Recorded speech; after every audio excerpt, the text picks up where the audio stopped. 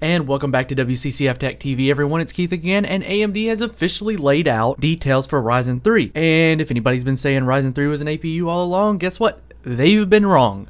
There's a reason we haven't said Ryzen 3 was an APU. I did not believe it was going to be one, and turns out it's not. So what they did was they laid out the details for Ryzen 3 as well as Ryzen Threadripper. So we're going to start off with Ryzen 3 desktop CPUs, which are 4-core, 4-thread Zen-based CPUs available in two desktop models. The Ryzen 3 1300X has a base clock of 3.5 GHz and a boost clock of 3.7 GHz, and the Ryzen 3 1200 has a base clock of 3.1 GHz and a boost clock of 3.4 GHz.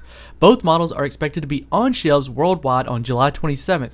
Unfortunately, there is no pricing on these at the moment, but in my personal opinion, I think the sweet spot pricing would be between $100 and 130 dollars. That may be wishful thinking, but that's what I'm hoping for. Now moving on to Ryzen Threadripper. Ryzen Threadripper will be available worldwide for the high-end desktop market in early August. In addition to the 16-core 32-thread model previously announced, there will be officially a 12-core 24-thread model available. Both are unlocked and both are using the new socket TR4 and I'm pretty sure TR stands for Threadripper.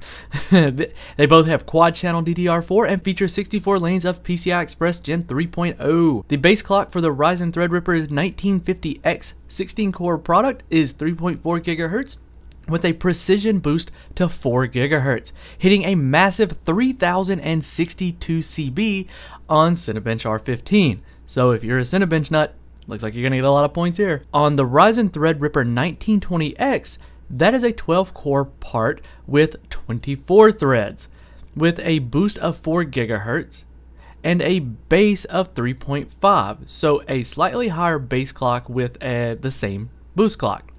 Both Ryzen Threadripper CPUs offer a higher performance in Cinebench R15 than the Intel 7900X, according to AMD, which we haven't seen any other numbers to substantiate that it's faster anywhere else other than Cinebench. But that is a good representation of multi-core capability. Pricing for the Threadripper CPUs, both the 1900 1950X and the 1920X. The 16-core 1950X is going to come in at $999, while the Ryzen Threadripper 1920X 12-core CPU will come in at $799. That's uh, $200 or $300 more than the top end 8 core and double the price of the top end 8 core, which makes sense because twice the processor.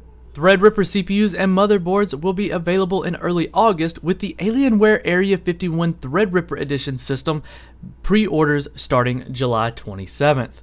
It'll be interesting to see what's what things shake out in the market once these hit the sales floor running. They will be coming out ahead of the high core count Intel counterparts. But we'd love to hear what you have to say about this. Leave a comment in the description below. And this has been Keith with WCCF Tech TV, and we will catch you in the next video.